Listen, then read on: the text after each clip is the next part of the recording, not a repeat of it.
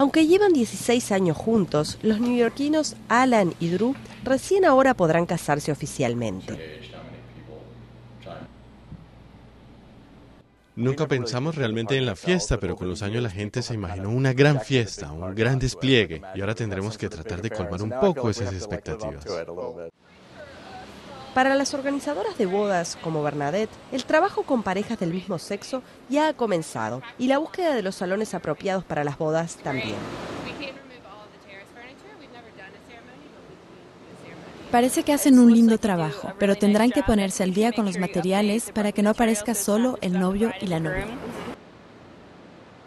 Las parejas gastan un promedio de 10 mil dólares o más, por lo que se estima que la legalización de las bodas del mismo sexo podría reportar 180 millones de dólares anuales más para los servicios relacionados a la industria de las bodas en Nueva York.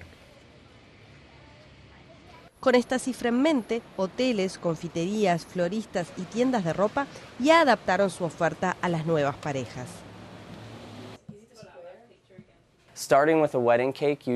Lo que suele ocurrir es que empiezan con el pastel de bodas y luego les siguen los pasteles de baby shower y de cumpleaños de los niños, así que con suerte es el punto de partida para ver crecer nuestro negocio tremendamente.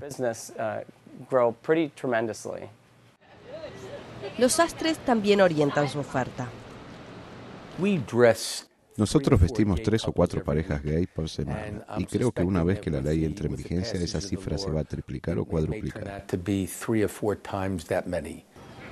Los pastores religiosos como Gil y Annie debieron adaptar su repertorio para estas ceremonias.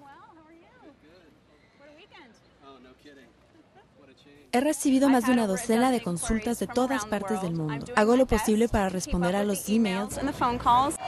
Pero no solo los neoyorquinos podrán contraer matrimonio aquí.